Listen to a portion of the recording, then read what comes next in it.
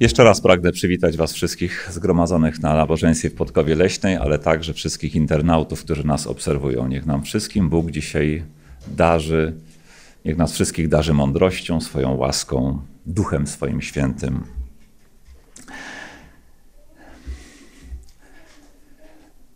Żyjemy w bardzo trudnym, chyba teraz dla naszego kraju, czasie. Wiele się dzieje może nawet więcej niż się dziać powinno. Wszyscy też obserwujemy, jak wiele się dzieje rzeczy e, bardzo kontrowersyjnych e, na polu wymiaru sprawiedliwości, na polu sądownictwa. W pewnym sensie to, co chcę dzisiaj powiedzieć, jest też jakąś taką kontynuacją e, myśli zawartych w najnowszym znaku czasu, grudniowym, w moim artykule wstępnym, tam jest powiedziane o adwencie po sędziowsku. Tak, jest mowa i o adwencie, e, o przyjściu Chrystusa, o tym szczególnym też okresie, w którym, e, w którym który się właśnie niedawno e, zakończył, świątecznym, ale też w kontekście no, tym, czym Polska teraz żyje obojętnie, czy się ludzie z tym zgadzają, czy wy się z tym zgadzacie, czy nie, coś się tam dzieje. Nie wszyscy rozumieją, co się dzieje, ale e, wszyscy czują jakieś zaniepokojenie tym, co się dzieje w tej sferze polskiego życia społecznego, w sferze wymiaru sprawiedliwości, w sferze sądownictwa. W jakim to się kierunku potoczy, nie wiemy, ale wiemy, że wszystkim potrzeba bardzo modlitwy. Z naszej strony modlitwy, za tych, którzy decydują, za tych, których te decyzje będą dotykały.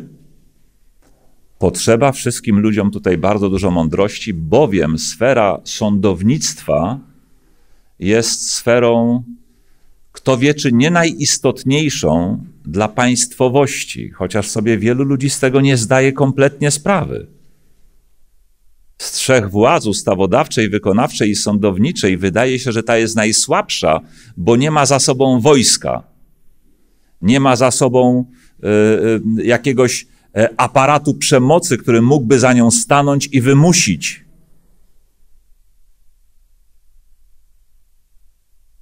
Ale jest być może właśnie dlatego tą sferą najbardziej delikatną, ale też od której zależy kto wie, czy nie kręgosłup całego państwa. I nie mam zamiaru mówić w dzisiejszym kazaniu o państwie, ani tutaj podawać recept na uzdrowienie systemu sądownictwa w Polsce, jego właściwe zreformowanie, ale chcę pokazać, jakby na tym tle ideę sądu Bożego w niebie. Bo jeśli czymkolwiek adwentyści różnią się w sposób diametralny od innych wyznań chrześcijańskich, gdy wiele naszych nauk y, jest podobnych, nawet pokrywa się z naukami innych kościołów, bo w końcu adwentyzm nie wyrósł na pustyni nie, nie został, nie był pierwszą religią świata, nie został założony przez ludzi, którzy w nic nie wierzyli i nagle Pan Bóg objawił im adwentyzm. Do niczego niepodobny, różny we wszystkim od wszystkich innych. Nie. Adwentyzm w bardzo wielu kwestiach jest podobny do innych wyznań chrześcijańskich. Bardzo wiele naszych nauk jest wspólnych z innymi naukami chrześcijańskimi. Jesteśmy kościołem chrześcijańskim. Ale jest kilka nauk, które nas wyróżniają, a jedna z nich w szczególności. Znajdziecie nawet kościoły, które y, święcą sabat. Ale nie wiem, czy znajdziecie kościół, który wierzy w to, że sąd rozpoczął się przed przyjściem Chrystusa czy że ma się rozpocząć przed przyjściem Chrystusa. Wiele kościołów wierzy w sąd, w ideę sądu ostatecznego, ale nie dostrzegają idei sądu, który my nazywamy śledczym. Ostatnio zaczęliśmy go nazywać badawczym w Polsce, a e, ja od lat nazywam go sądem przedadwentowym poprzedzającym przyjście Pana Jezusa Chrystusa. w tej kwestii się bardzo różnimy od e, innych wyznań. Ale też bardzo trudno nam innych ludzi, często bliskich nam, nasze rodziny, naszych przyjaciół, przekonać do tej idei.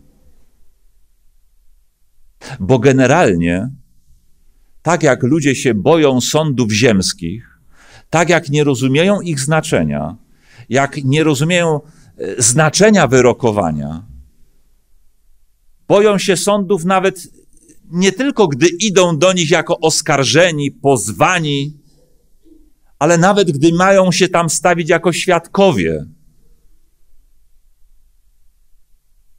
Jakiś lęk ich paraliżuje, bo to przecież sąd. Tak samo ludzie odczuwają jakiś wewnętrzny lęk przed w ogóle koncepcją sądu w niebie, Boga jako sędziego. Boją się sądu, podczas gdy w istocie sąd jest Ewangelią. Dlatego przyglądajcie się uważnie temu, co dzieje się w naszym wymiarze sprawiedliwości. Przyglądajcie się, słuchajcie różnych głosów. Ale tylko jakby po to, niezależnie od tego, by wyrabiać sobie własny pogląd, a nie tylko to, co wam w telewizorze powiedzą, ale również po to, by na bazie tego, o czym ludzie dyskutują, na bazie tego, co jest dla nich ważne, móc od dyskusji o naszym wymiarze sprawiedliwości przejść do głoszenia im Ewangelii sądu Bożego, bo sąd Boży jest Ewangelią.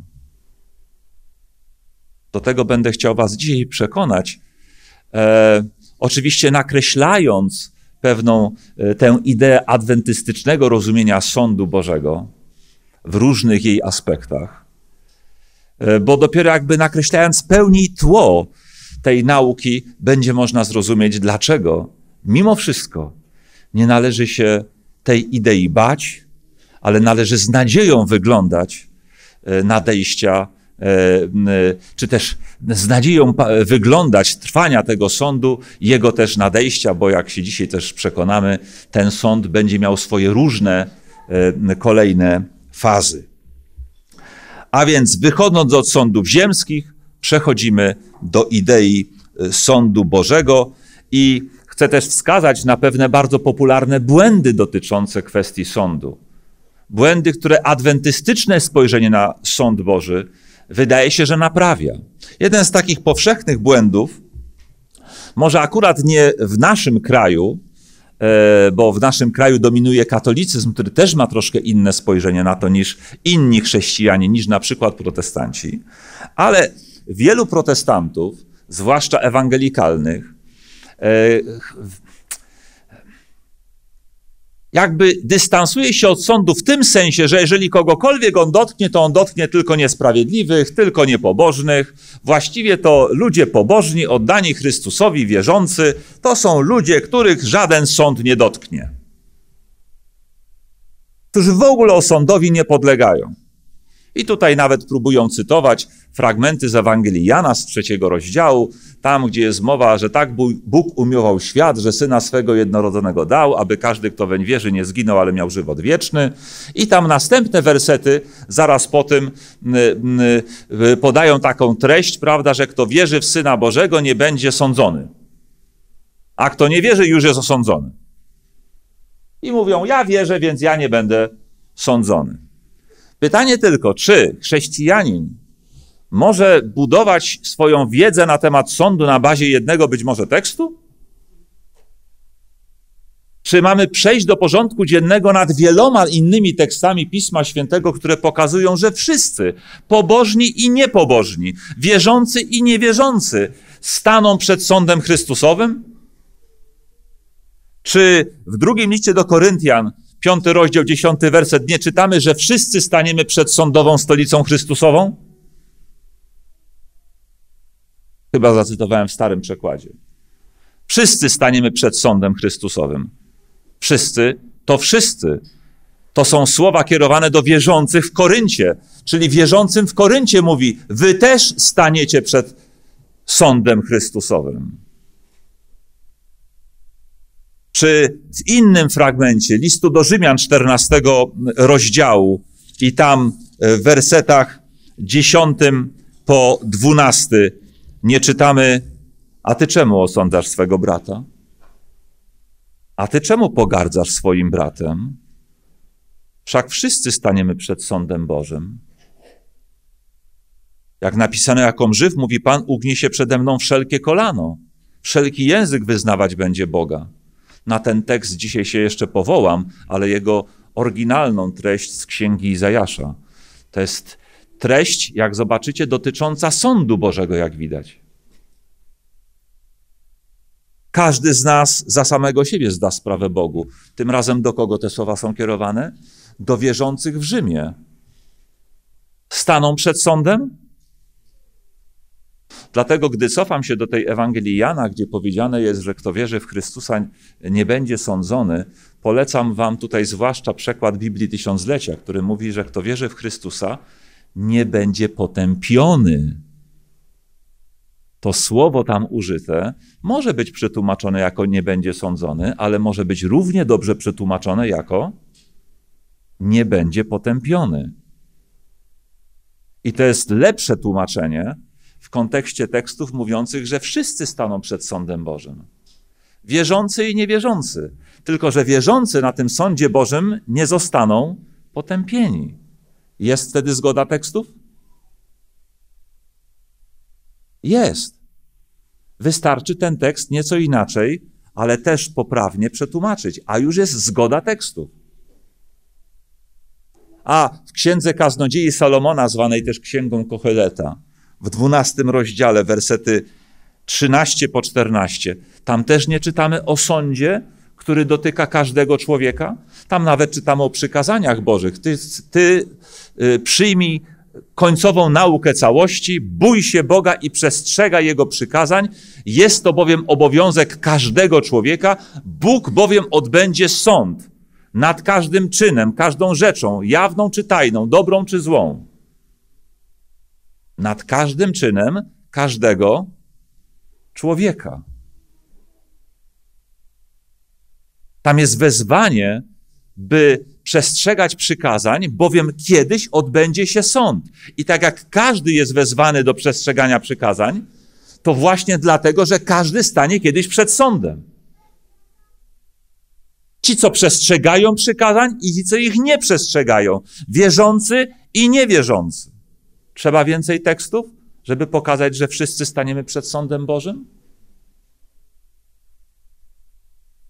A ten tekst, a ty w takim razie dlaczego pogardzasz, dlaczego osądzasz?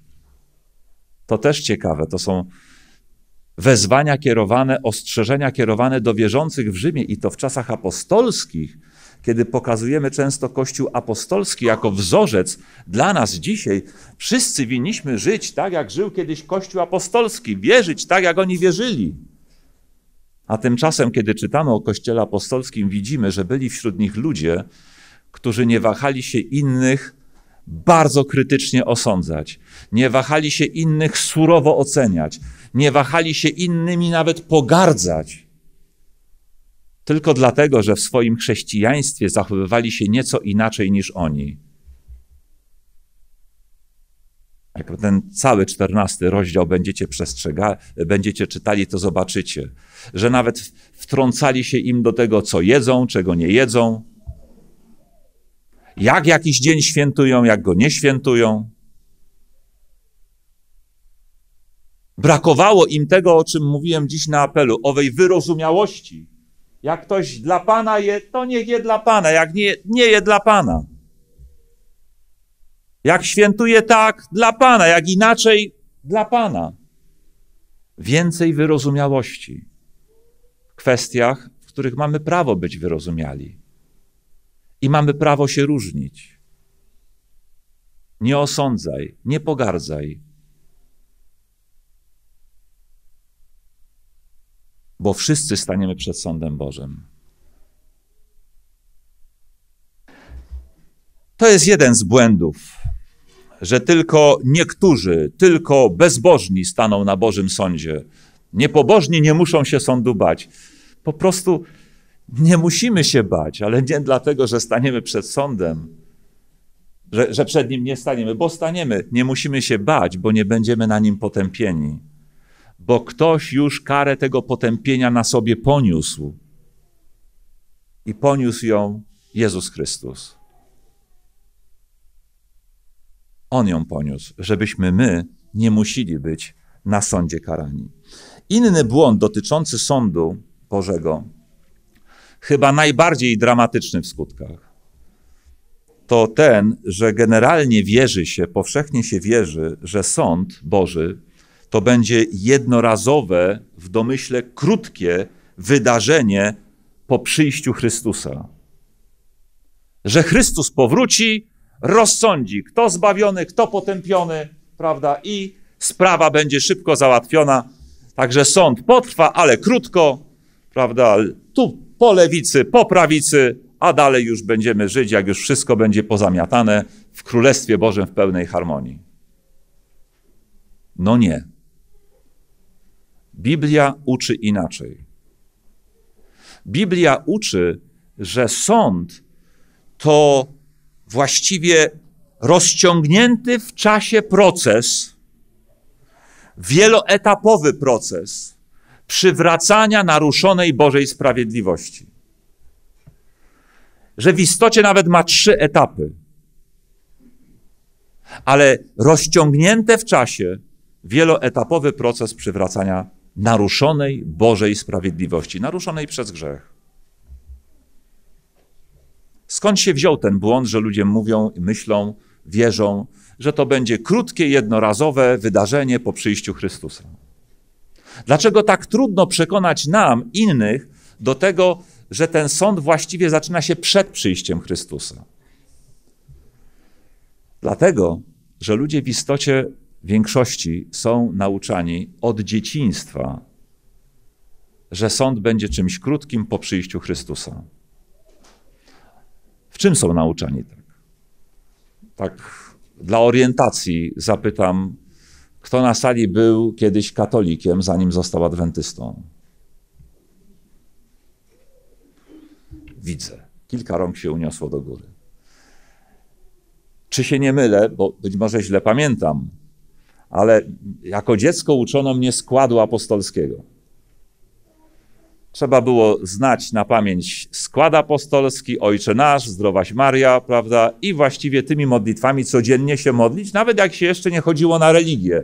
Byliśmy już tego nauczani. Potem na religii, potem na każdej mszy świętej w Kościele katolickim powtarzało się skład apostolski. A w składzie apostolskim, czyli w tym wyznaniu wiary, były takie słowa. Stamtąd przyjdzie sądzić żywych i umarłych, a królestwu jego nie będzie końca. Tak? Stamtąd przyjdzie sądzić żywych i umarłych. Czyli jaka jest sekwencja wydarzeń w tym składzie apostolskim, który każdy katolik od maleńkości uczy się na pamięć, nawet jak jeszcze nie potrafi rozumować samemu, jakiej sekwencji się uczy. Że najpierw przyjdzie, a potem będzie sądził. Najpierw przyjście, potem sąd. Tak? A tymczasem Biblia uczy innej sekwencji. Najpierw sąd, potem przyjście. Najpierw sąd, potem przyjście. I ja wcale nie mam zamiaru tutaj teraz, e, bo nawet kazanie nie jest miejscem na to, by e, tu wyliczać e, początek tego sądu, prawda, co też jest charakterystyczne dla adwentyzmu. Że pewne proroctwa nawet pozwoliły nam tutaj wskazać, kiedy ten sąd się zaczął, ale nawet nie próbujcie nikomu tego nigdy tak udowadniać, jeśli najpierw nie przekonacie kogoś do idei, że jest najpierw sąd, potem przyjście Chrystusa. Do tej ogólnej, generalnej idei. Wyliczania zostawcie sobie potem na potem, kiedy ktoś zaakceptuje tę generalną myśl. A skąd ta generalna myśl wynika? Choćby z Księgi Apokalipsy z 14 rozdziału. Z 14 rozdziału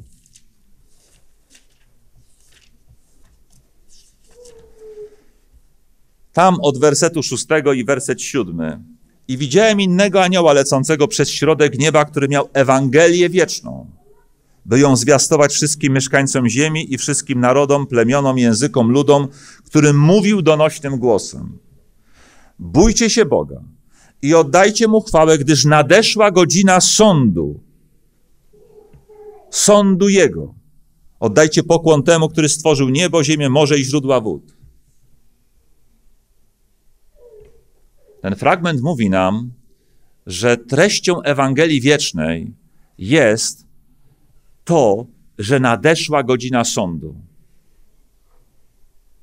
Ale skąd wiem, że to są słowa, które z perspektywy Jana dotyczą czasów przed przyjściem Chrystusa, a nie czasów Jana? Gdy je pisał, końcówka pierwszego wieku. Skąd wiem?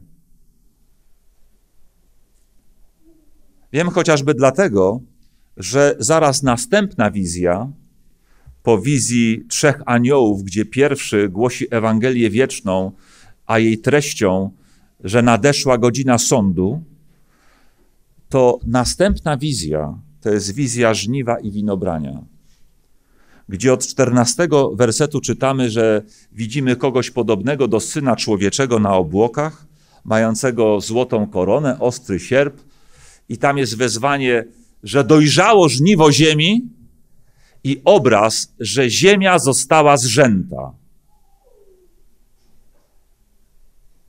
W Ewangeliach znajdziecie jedną z przypowieści o y, sianiu pszenicy i konkolu, i tam jest powiedziane, żeby czekać, ze, czekać z zebraniem ich razem aż do żniwa, a gdy uczniowie nie wiedzieli, o co chodzi w tej przypowieści, Chrystus wyjaśnił im, kto to są żeńcy, że to aniołowie, tak, co to jest pszenica, konkol, a na końcu powiedział, a żniwo to koniec świata.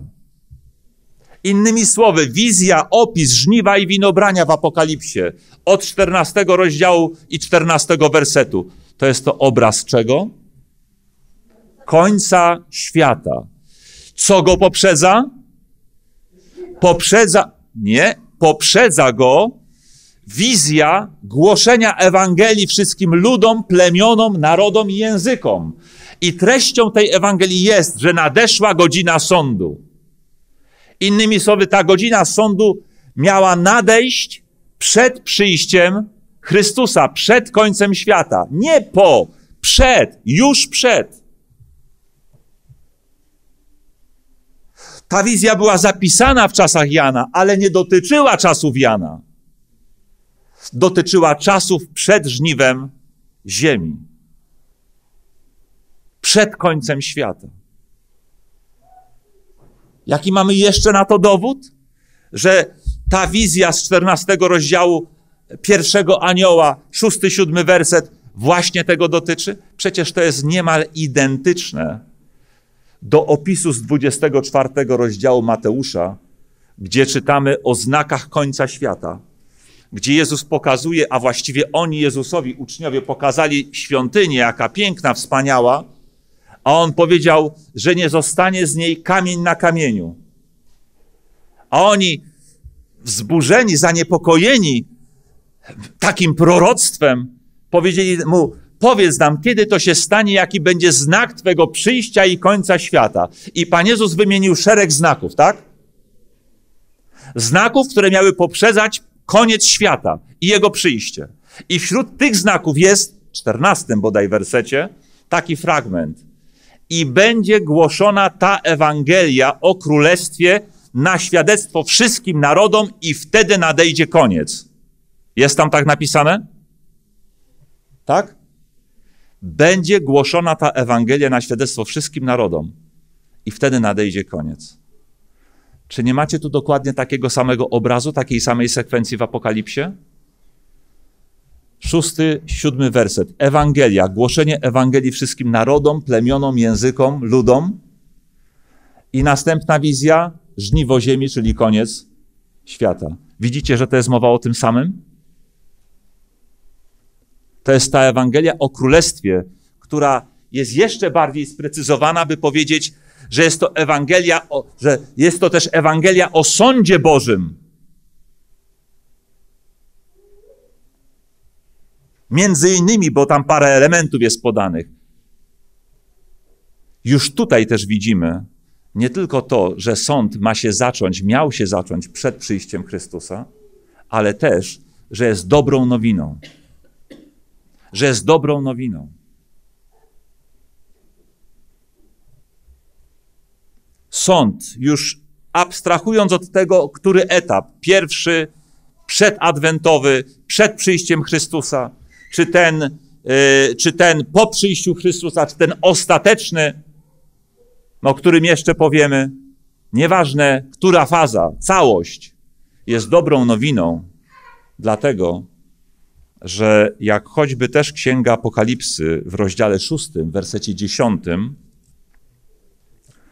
czytamy o duszach zabitych pod ołtarzem, które wołały: Kiedyż, Panie święty i prawdziwy, rozpoczniesz sąd i pomścisz krew naszą na mieszkańcach ziemi? Sąd jest Ewangelią również dlatego, że jest nadzieją dla milionów ludzi, którzy zostali pozbawieni życia i niczym sobie na to nie zasłużyli. Którym odebrano życie, które mogło trwać. Którzy doznali mnóstwa niesprawiedliwości od ludzi, łącznie z odebraniem im życia, a wcześniej godności, a wcześniej wszystkiego, co mieli. Odebraniem tego, co dla nich najdroższe. I gdy schodzili z tego świata w poczuciu, nie wiem, jakiegoś absolutnego strachu, lęku, a ci, którzy im tego dokonali, nigdy nie doświadczyli nawet ludzkiej sprawiedliwości. I tak sobie myślę, jakimż niebem miałoby być to niebo, gdyby Boża sprawiedliwość nie wyrównała rachunków. Gdyby Boża sprawiedliwość miała nie wyrównać rachunków. Czy zbawieni mogliby się cieszyć zbawieniem? Czy zabici bez żadnej winy mogliby się cieszyć życiem wiecznym, gdyby ich oprawców miała nie dosięgnąć, jeśli nie ludzka, to boska kara. Sąd Boży jest nadzieją i Ewangelią, że sprawiedliwości w końcu stanie się zadość. Że ten świat, który tego wcale nie gwarantuje i często zbrodniarzy wywyższa,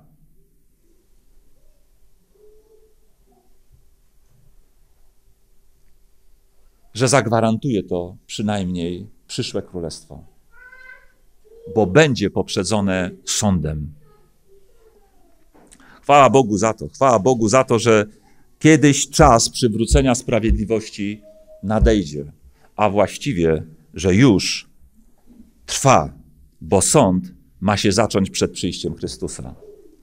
Wskazuje na to Księga Apokalipsy, 14 rozdział, ale wskazuje na to również w bardzo wyraźny sposób, najwyraźniejszy z możliwych.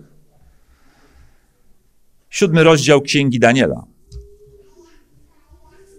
W tym rozdziale, którego oczywiście w tej chwili nie mam zamiaru studiować w całości, zwrócę tylko uwagę na to, że jest tam pewna wizja czterech zwierząt wychodzących z wielkiego morza, gdy jest wzburzone. Ta wizja jest paralelna do wizji z drugiego rozdziału, gdzie, były, gdzie był posąg z czterech różnych metali stworzony.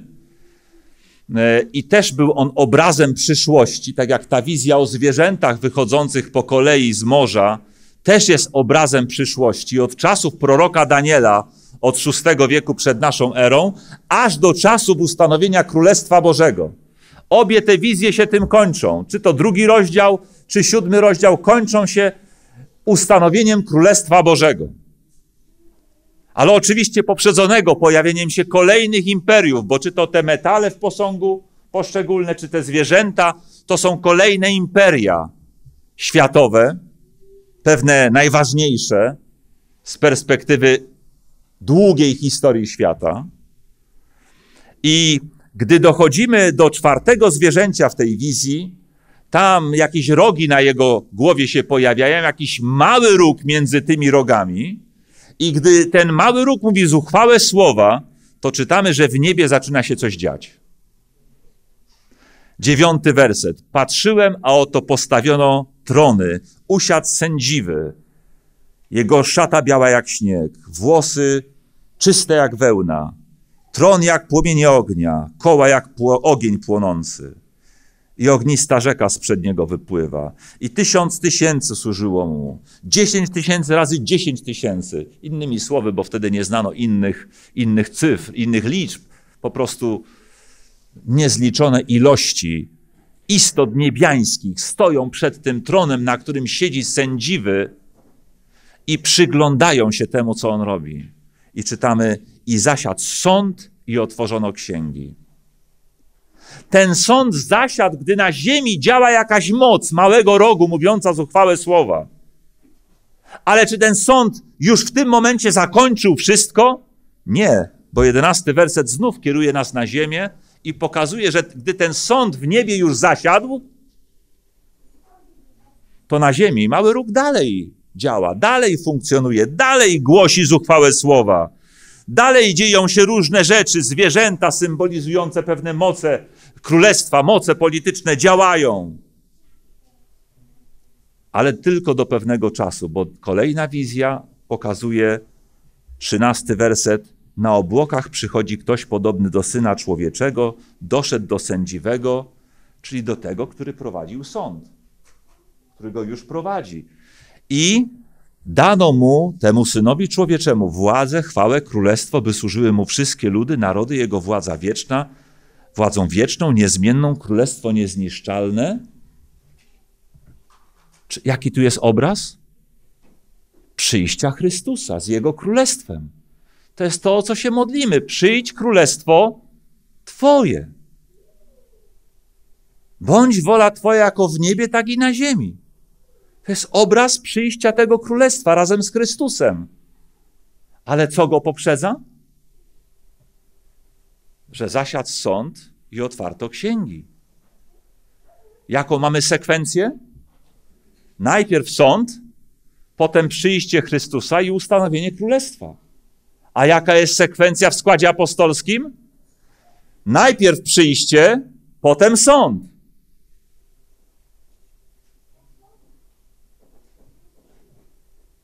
A tu jest inna. I żeby tylko raz podana, ona tu jest trzy razy podana ta sekwencja. Bo potem w wyjaśnieniach anielskich do tego, do tego widzenia czytamy werset 21, 22. A gdy patrzyłem, wtedy uwróg prowadził wojnę ze świętymi, przemógł aż przed sędziwy, odbył się sąd i prawo zostało przyznane świętym Najwyższego i nadszedł czas, że święci otrzymali królestwo. O czym tu czytamy? Jaka sekwencja jest? Znowu, najpierw sąd, potem królestwo. Najpierw sąd, potem królestwo. Najpierw sąd, potem przyjście Chrystusa i Królestwo Boże. A w składzie apostolskim? Najpierw przyjście Chrystusa, potem sąd. Ale co ciekawe w tym fragmencie, to kolejny element Ewangelii Sądu. A mianowicie że pewnym finalnym orzeczeniem tego sądu, co ma być? Prawo zostanie przyznane świętym Najwyższego. I otrzymają królestwo. To królestwo to jakby odszkodowanie za wszystkie krzywdy, których tutaj doznali. Ale będzie też przywrócone im prawo, będzie też przywrócone im dobre imię. Ci pogardzani przez innych, ci wyszydzani za ich wiarę, ci, którym bez zdania racji odebrano co wszystko, co najcenniejsze życie, godność, zostanie im to wszystko przywrócone. Prawo będzie im przyznane. Racja będzie im przyznana. Nadejdzie taki czas. Trzymajmy się tego czasu jak naszej nadziei, jak dobrej nowiny. Krzywdy nasze będą nagrodzone, rachunki wyrównane, sprawiedliwość przywrócona. Nawet jeśli tutaj tego nie doczekamy. Tak się stanie. I trzecie miejsce, w którym w siódmym rozdziale jest to potwierdzone, to werset 20, 26 i 27. Potem odbędzie się sąd i pozbawią go władzy, by ją ostatecznie zniszczyć i obalić. A królestwo, władza i moc nad wszystkimi królestwami będą przekazane ludowi świętych Najwyższego. Jaka kolejny raz tu jest sekwencja? Najpierw sąd, potem oczywiście przyjście Chrystusa i Królestwo Boże. Inaczej niż w składzie apostolskim. Dlaczego tak trudno przekonać innych do naszej nauki w tym względzie? Ano dlatego, że skład apostolski znają od dzieciństwa, a Biblii dopiero, jeśli w ogóle, to czytają ją dopiero dużo później. Jeśli w ogóle. Więc jeśli ktoś zna tylko skład apostolski, to tak trudno mu, tak, tak dziwnie patrzy na adwentystów. Jak to? Sąd przecież on ma być po przyjściu Chrystusa. Nie, nie, przed. Jakie przed? Ano przed, bo tak uczy, czy to Księga Daniela, bardzo wyraźnie, w trzech miejscach aż to jest powtórzone. Co to znaczy, że w trzech miejscach? Jakbyście spojrzeli na cały siódmy rozdział, to jest to najczęściej powtarzany fragment, że najpierw sąd, potem dopiero Królestwo Boże.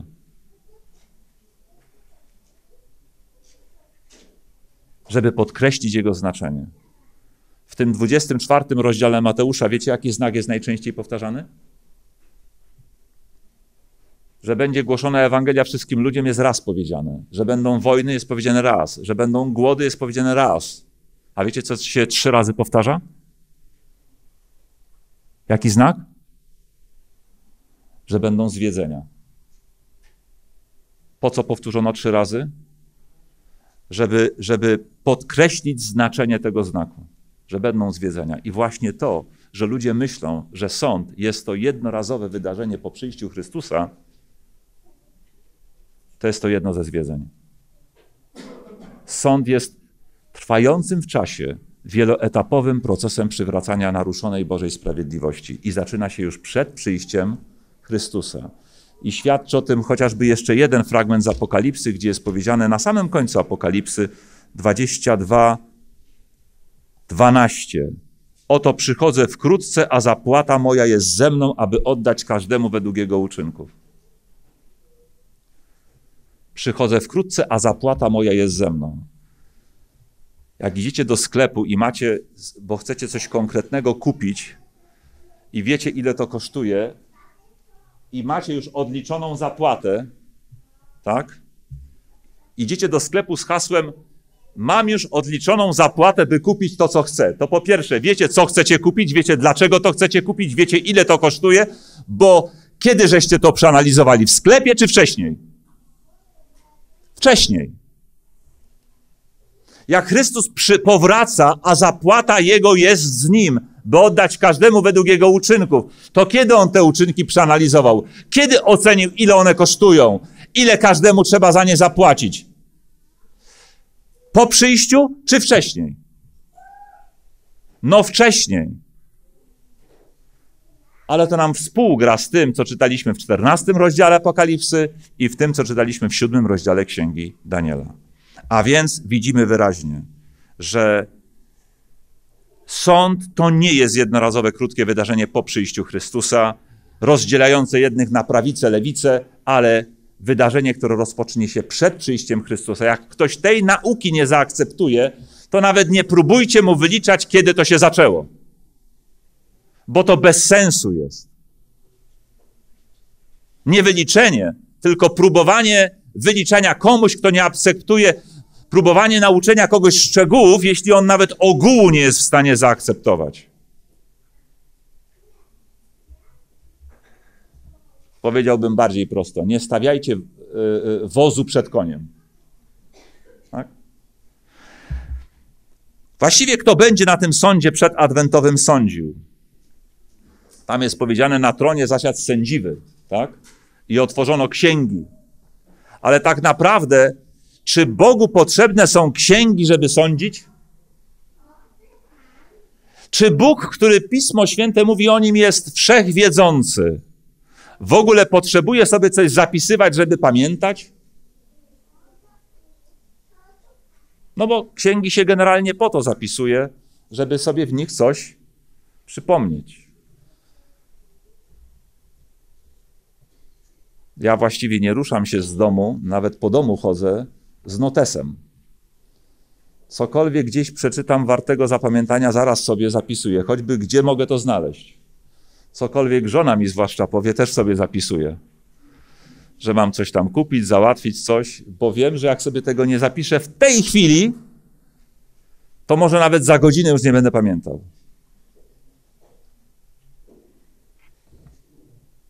Bo jesteśmy niedoskonali. Ale doskonały Bóg, czy potrzebuje ksiąg, zapisów, żeby wiedzieć, żeby w ogóle wiedzieć, co się komu należy? On nie. Czyli dla kogo tak naprawdę jest to, że na tym sądzie otwiera, otwierają księgi? Zasiadł sąd i otworzono księgi. Dla tych wspomnianych tam tysięcy, tysięcy, dziesięciu tysięcy razy dziesięć tysięcy istot niebiańskich, które patrzą w te księgi, by ocenić, czy ci, których Chrystus ma zamiar wziąć z tej ziemi do nieba, do tego nieba się rzeczywiście nadają. To chodzi o to, żeby rozwiać ich wątpliwości. Bóg nie potrzebuje sądu. Tego sądu potrzebują niebiańskie istoty, bo w końcu mają w bezgrzesznym świecie, w nieskażonym świecie przyjąć tych, którzy przyjdą tam z jakiego świata? Skażonego i grzesznego. To tak jakbyście chcieli zaadaptować, zaadoptować dziecko z domu dziecka, które było chore na AIDS, mając, wiele, mając w domu gromadkę dzieci absolutnie zdrowych. Nie chcielibyście mieć pewności, że dziecko jest należycie zabezpieczone? Albo że dziecko chorowało na jakąś bardzo groźną, śmiertelną chorobę, ale wyzdrowiało. Nie chcielibyście poznać karty jego choroby, że naprawdę wyzdrowiało, że ta adopcja niczemu nie zagrozi waszym dzieciom? Ja wiem, to nie może są, nie są doskonałe przykłady, ale myślę, że istoty niebiańskie po to będą na tym sądzie obecne, po to są na nim obecne przed przyjściem Chrystusa, po to są otwarte przed nimi księgi, żeby było wiadomo, kto ma być zbawiony, kto nie, żeby były przekonane, że Bóg nie podejmuje żadnej błędnej decyzji. Nie na zasadzie, że Bóg powie: Ja wiem, kto ma być zbawiony, a wam, a wam nic do tego. Ja wiem. Waszą rolą jest mi wierzyć na słowo. Patrzcie, Bóg, który mógłby tego wymagać, jednak pomimo tego mówi: chodźcie, chodźcie, okej, okay, Popatrzcie w księgi. Sami ocencie. Czy, on, czy to są naprawdę nawróceni, czy tylko na pozór nawróceni? Czy oni się nadają do nieba, czy się nie nadają? Czy im się należy, czy im się nie należy? Sami ocencie. W istocie więc to te istoty potrzebują tego sądu, istoty niebiańskie, żeby wiedzieć, że sprawiedliwi słusznie dostaną się do nieba, a nadto jeszcze jest to sąd im potrzebny po to, by wiedzieć, to spojrzenie w te księgi, że Boża wola by pewnych ludzi zbawić, a innych nie, że Bóg w tej Bożej woli też się nie myli. Bo z tych ksiąg wynika, że Bóg ma rację. Jednych do nieba przyjmując, innych nie. Jednym dając zbawienie, innym nie. To jest więc dla nich bardzo ważne. A potem przychodzi ta druga faza sądu, opisana w księdze Apokalipsy. W księdze Apokalipsy e, w rozdziale 20 i tam werset czwarty, gdzie widzimy już po przyjściu Chrystusa, gdzie widziałem trony i usiedli na nich ci, którym dano prawo sądu i widziałem dusze tych, którzy byli ścięci za to, że składali świadectwo o Jezusie i głosili Jego słowa oraz tych, co nie oddali pokłonu zwierzęciu Jego posągowi, ci i nie przyjęli znamienia na czoło i na rękę, ci ożyli i panowali z Chrystusem przez tysiąc lat. Widzimy tu kolejną fazę sądu. Sądu tysiącletniego. Mamy panowanie zbawionych tysiącletnie w niebie, ale też czytamy, że tam panują, siedząc na tronach i jednocześnie mając prawo sądu. Fazie tej pierwszej przed przyjściem Chrystusa, to oni byli jakby osądzani. To istoty niebiańskie rozważały, czy zbawionym należy się niebo, czy nie. Ale kiedy już zbawieni się w nim znajdą po przyjściu Chrystusa, teraz oni zasiadają na tronach mając prawo sądu, które wcześniej miały istoty niebiańskie. I teraz oni sądzą. Kogo? Rąbka tajemnicy uchyla nam chociażby, yy, chociażby dru- pierwszy list do Koryntian, rozdział szósty, werset drugi i, yy, i trzeci. Pierwszy do Koryntian, rozdział szósty, werset drugi i trzeci. Czy nie wiecie, że święci świat sądzić będą? A jeśli świat będziecie sądzić, to czy nie jesteście, yy, czy jesteście niegodni osądzać sprawy pomniejsze? Czy nie wiecie, że aniołów sądzić będziemy, a cóż dopiero zwykłe sprawy życiowe? Aniołów i świat będą sądzić zbawieni w niebie. W tym drugim etapie. W pierwszym najpierw aniołowie istoty niebiańskie spoglądały w księgi, w księgi, zapisy, a teraz zbawieni spoglądają w te same księgi i teraz oni będą oceniać. Dlaczego myśmy się tu znaleźli? Dlaczego nie ma tu paru pastorów? Paru wielkich przywódców religijnych?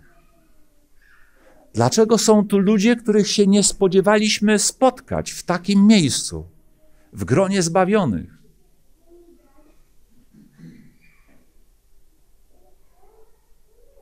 Myślę, że paru apostołów będzie zdziwionych, kogo tam zastaną.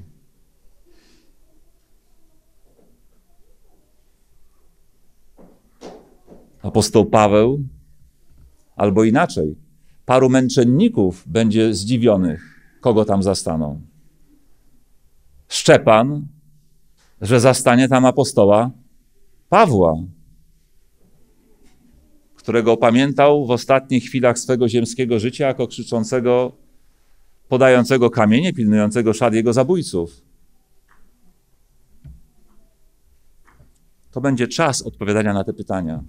Dlaczego są tu ludzie, których się nie spodziewałem zastać? Dlaczego ja tu jestem?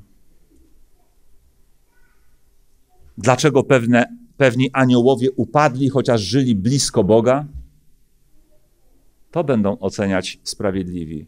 I kolejny raz będą niby oceniać świat i aniołów, a tak naprawdę będą kogo oceniać? Czy Pan Bóg się aby nie pomylił?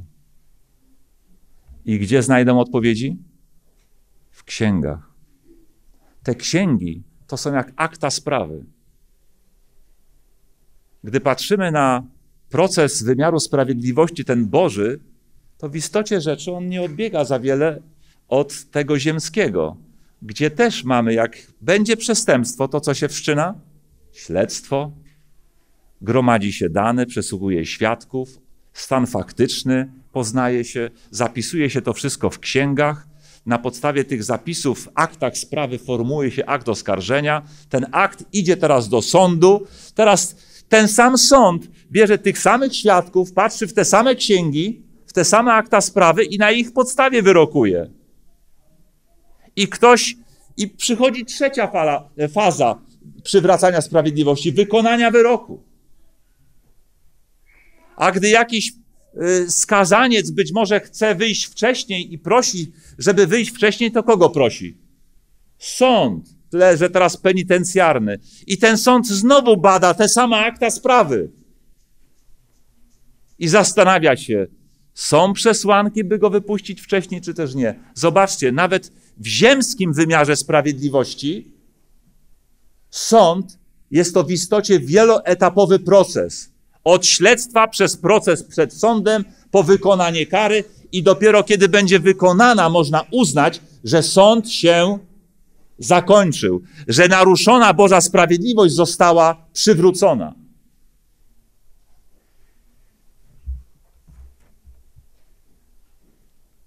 I tak będzie też i z tym sądem Bożym.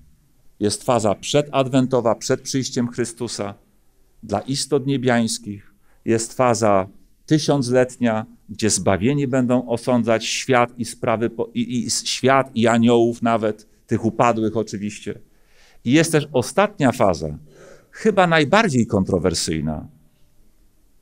Bo o ile wszyscy myślą sobie, no tak, sąd ostateczny to, prawda, trzeba ostatecznie się rozprawić ze złem, tak, ono temu służy, ten sąd, ta faza temu służy, ale tam dochodzi do pewnej rzeczy, której nawet adwentyści nie rozumieją.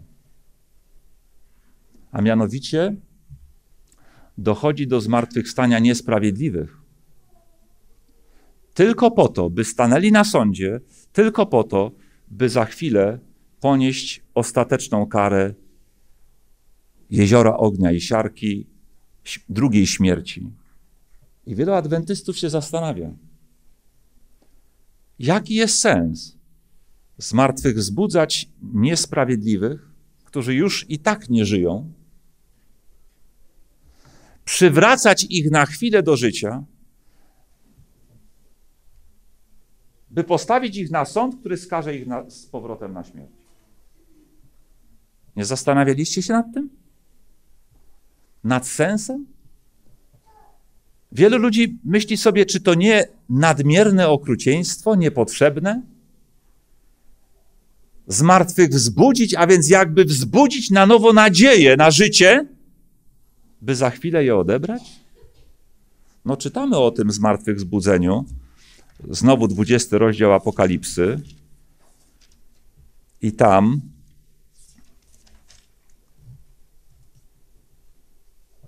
A gdy się dopełni tysiąc lat, będzie szatan wypuszczony ze swego więzienia, by zwieść narody.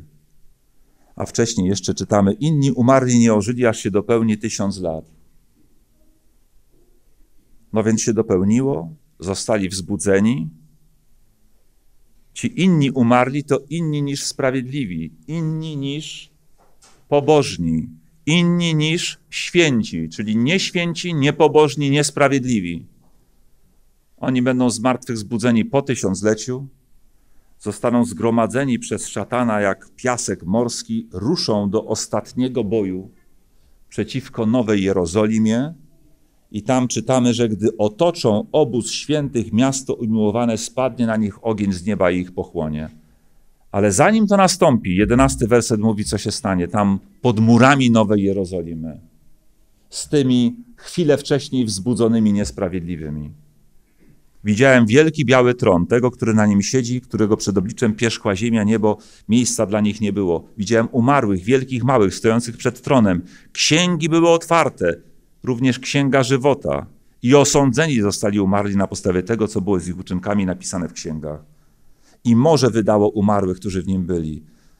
Również śmierci piekło wydały umarłych, którzy byli w nich i byli osądzeni każdy według swego uczynku i śmierć i piekło zostały wrzucone do jeziora ognia, a owo jezioro to druga śmierć. Kto nie był zapisany w księdze żywota, został wrzucony do jeziora ognistego. Mamy tu wizję sądu ostatecznego. Ostatecznego domknięcia sprawy grzechu, gdzie sprawca grzechu Jego naśladowcy, ci, którzy nigdy nie żałowali za swoje grzechy albo nie żałowali dostatecznie, zostaną ostatecznie unicestwieni. I o ile nie dziwi nas fakt, że ostatecznie będzie sprawca grzechu zgładzony, o tyle dziwi wielu z nas do tej pory, skoro niektórzy z nich, większość z nich już leżała w grobach, już nie żyła, po co ich wzbudzać, żeby stanęli na tym sądzie, żeby ich za chwilę znowu odesłać do jeziora ognia? Wiecie po co? Bo sama odpowiedź, żeby stanęli na sądzie, jest, wydaje się, niewystarczająca. Pytanie, czemu Bogu zależy na tym, żeby nawet oni stanęli na sądzie?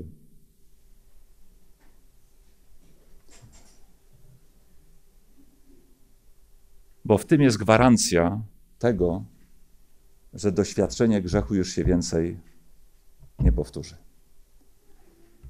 Od tego, czy ci ludzie staną na sądzie, będzie zależała przyszłość owego królestwa i tego, że przywrócona Boża harmonia we wszechświecie już nigdy nie zostanie naruszona.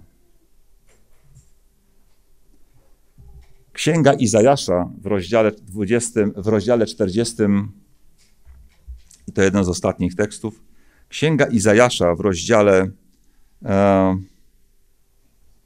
45 i w wersecie 25 mówi nam, że nadejdzie taki czas. Izajasz, 45 rozdział. Właściwie od 23 czytam. Przysiągłem na siebie, z moich ust wyszła prawda, słowo niezmienne, że przede mną będzie się zginać wszelkie kolano i będzie przysięgał wszelki język, mówiąc: Jedynie w Panu jest zbawienie i moc. Do Niego przyjdą ze wstydem wszyscy, którzy się na Niego gniewali. Czy podobny tekst czytaliśmy już dzisiaj? Czy podobny tekst czytaliśmy już dzisiaj? Czytaliśmy w czternastym rozdziale listu do Rzymian. Tam od dziesiątego wersetu poczynając. Tam była zapowiedź sądu na którym wszyscy staniemy, w kontekście tych właśnie słów z księgi Izajasza, czyli to jest wizja sądu. A które jego fazy? Pierwszej, na której będą tylko istoty niebiańskie, drugiej, na której będą tylko sprawiedliwi, czy trzeciej, na której będą wszyscy istoty niebiańskie, zbawieni i niepobożni. To jest wizja tej trzeciej fazy sądu, ostatecznej z ostatecznych. Bo czytamy, że przede mną zegnie się wszelkie kolano. Nawet kolano czyje? Nawet tych, którzy się na niego gniewali. Nawet tych, którzy mieli przez całe życie do Boga jakieś pretensje nawet tych, którzy w Niego nie wierzyli, którzy buntowali się przeciwko Niemu. Oddane wszystko tu słowami nawet tych, którzy się na Niego gniewali. Ze wstydem, ale przed Nim staną. Ze wstydem, ale przed Nim ugną kolano. Będzie taki czas. Tylko ci zbawieni będą uginać te kolana w Nowej Jerozolimie, a tamci, cała reszta, pod murami Nowej Jerozolimy gdy ich uczynki wyświetlą się być może na jej błyszczących ścianach. Gdy księgi zostaną otwarte i pokażą im, jakimi uczynkami zapierali się Boga. I wtedy ogarnie ich wstyd. I wtedy upadną. I wtedy przyznają Bogu rację, że to myśmy się mylili i ta racja jest Bogu potrzebna, żeby publicznie przed nie tylko sobą samymi, nie tylko, że przed Nim, bo On i tak wie, że ma rację, nie tylko przed zbawionymi, ale żeby przed całym wszechświatem, wszystkimi istotami niebiańskimi, które będą patrzeć na to, żeby ci, co się przeciwko Bogu buntowali, powiedzieli: Bóg ma rację, to my się myliliśmy. Wiecie, co zamyka każdy proces? Niejako momentalnie, kiedy przeciwnik procesowy w sądzie przyzna nam rację. Kiedy już nie musimy się e, z nim siłować na argumenty.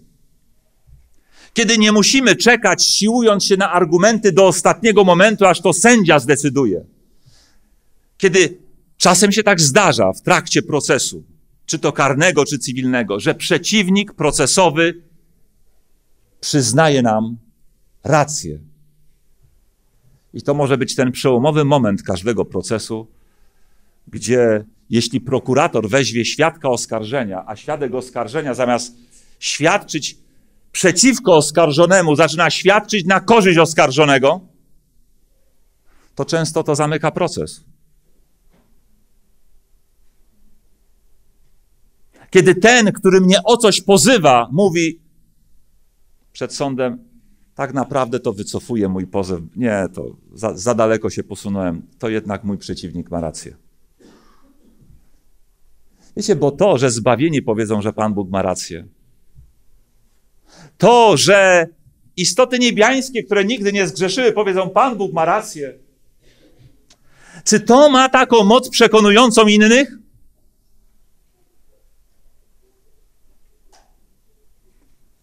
Nic nie ma takiej mocy przekonującej innych, jak to, kiedy Boży przeciwnicy powiedzą, że Bóg ma rację. I to dopiero nam zabezpieczy wszechświat, przyszłe królestwo przed powtórzeniem się grzechu. Bo moi drodzy, czy grzech się nie powtórzy, dlatego że Pan Bóg wszystkim zbawionym wyłączy w mózgach opcję grzeszenia? Odbierze nam wolność grzeszenia? Królestwo Boże, czym by było, gdyby miało polegać na tym, że Pan Bóg po prostu taką opcję nam wyjmie z mózgu? zmieni kod, zaprogramuje nas na niegrzeszenie, będziemy wolnymi istotami? Nie. Pan Bóg musi znaleźć inny sposób. I tym sposobem jest właśnie doprowadzić cały sąd do końca, by stanęli nad nim nawet niesprawiedliwi, by przyznali mu rację. Bo gdyby nawet wtedy w Królestwie Bożym komuś przyszła do głowy myśl, a może zrobię po swojemu, a może pójdę inną drogą. To wiecie co? To Pan Bóg już nie będzie miał związanych rąk. Tak jak miał kiedyś, tak jak miał na początku, gdy wszechświat nie wiedział, na czym polega grzech. I Bóg musiał czekać, Bóg musiał pozwolić grzechowi się rozwinąć, żeby nikt go nie oskarżył, że postąpił zbyt surowo, Teraz, gdyby miało się coś takiego powtórzyć, po sądzie Bożym Bóg już nie będzie musiał na nic czekać. Będzie mógł każde zarzewie grzechu zdusić w zarodku i nikt nie będzie miał pretensji, bo każdy będzie pamiętał, że odbył się sąd i na sądzie nawet ci, co się na niego gniewali, ze wstydem przyznali mu rację. I to po to jest. Po to się ma to tak właśnie odbyć. Sąd Boży jest Ewangelią, dobrą nowiną, bo skoro się rozpoczął, to drugi adwent jest już blisko. Jest dobrą nowiną, bo na tym sądzie mamy swojego adwokata i jest nim Jezus Chrystus, orędownik, sprawiedliwy, jak mówi pierwszy list Jana, rozdział drugi, wersety 1 i 2. Naszym adwokatem jest Chrystus. To jest najlepsza z możliwych opcji. Sytuacja, w którym między sędzią, który ma rozsądzić, a naszym obrońcą jest jakaś relacja rodzinna, ja wiem, oczywiście w sferze świeckiej byłby to być może powód do tego, żeby zmienić sędziego. A przynajmniej wniósłby o to prokurator. Ale w tym wymiarze, kiedy między sędzią a naszym obrońcą jest pokrewieństwo, to jest to najlepsza możliwa sytuacja, by sądu się nie bać. Gdyby pokrewieństwo było między oskarżycielem a sędzią, oj, moglibyśmy się bać. Sąd Boży jest dobrą nowiną, bo naszym obrońcą jest Syn Boży, który jest sprawiedliwy, którego sprawiedliwość przykrywa nasze niesprawiedliwości. Sąd Boży jest dobrą nowiną, bo prawo zostanie wreszcie przywrócone świętem Najwyższego. Wszystkim pokrzywdzonym, wszystkim zabitym niewinnie, wszystkim odartym z godności przed śmiercią. W końcu sąd Boży jest dobrą nowiną, bo ziemia e, zostanie oczyszczona ze zła, ze sprawcy zła, z ludzi złych, a doświadczenie zła dzięki temu sądowi już się nigdy nie powtórzy. Sąd Boży jest w końcu dobrą nowiną i może to nam generalnie powinno wystarczyć, by się go nie bać, że kiedy czytamy o nim w Księdze Apokalipsy w 14 rozdziale, to wieść o sądzie nazwana jest, czy też jest elementem tego, co Pismo Święte nazywa wieczną Ewangelią. Wieczną Ewangelią. Zatem wieczną dobrą nowiną. Nie bójmy się Bożego Sądu. Oczekujmy na Niego z nadzieją, ale też dzisiaj żyjmy ze świadomością, że być może w tej chwili i nasze sprawy na tym sądzie są oceniane. Dlatego nie osądzajmy pośpiesznie, nie pogardzajmy nikim, bądźmy wielkoduszni, tak jakbyśmy sami chcieli, żeby nasze życie było w takim świetle rozważane na sądzie Bożym. Amen.